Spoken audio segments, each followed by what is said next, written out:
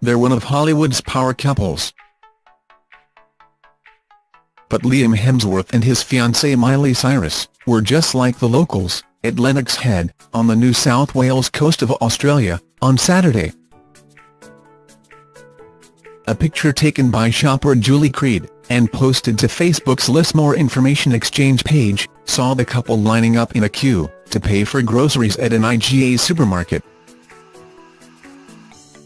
Liam dressed casually in a grey tank top, navy shorts and thongs, was seen patiently waiting in line to pay, at the independently owned supermarket.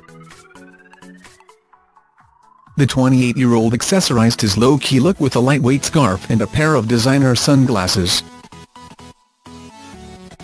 Joined by fiancée Miley, 25, the pop sensation highlighted her slender figure in a red crop top, teamed with light-wash Daisy Dukes and casual footwear. The Wrecking Ball singer finished off the look with delicate jewellery and tinted sunglasses. Members of the Lismore Information Exchange Facebook group were quick to comment on the photo, with one hilariously writing, someone needs to twerk all over them and start singing It's a Party in IGA. Another followed with, good luck for them, I hope they have a nice holiday, and another with PPL have to eat, sick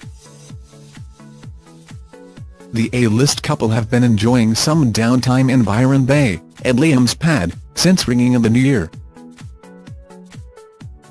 Tennessee-born Miley spends much of her time in Australia, especially during the summer months with her Hollywood star beau. Last month the starlet was pictured enjoying a girls' day out with her future sister-in-law Elsa Pataky, 41, who is the wife of Liam's older brother Chris Hemsworth. It followed unconfirmed reports in the Australian media that Miley and Liam are ready to welcome children of their own this year. NW magazine recently claimed the couple are renovating the singer's Tennessee home to be more family-friendly. A neighbor, Steve Joy, was even quoted as saying, this is a great place for Miley to start a family.